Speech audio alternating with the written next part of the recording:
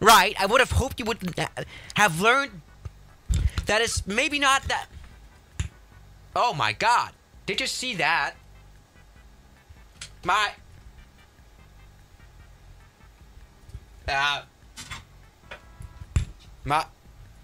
my you know what these You know what these micro. You know what these mics look like normally?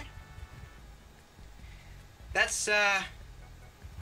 It's just separated quite really. By the way, I set up the the right the wrong the light the, the wrong way. It's just that's not that's not gone very well at all. Actually, I set the the whole thing not properly. There we go. This is better now. Um, so this is an expensive mic. It sounds quite nice, doesn't it?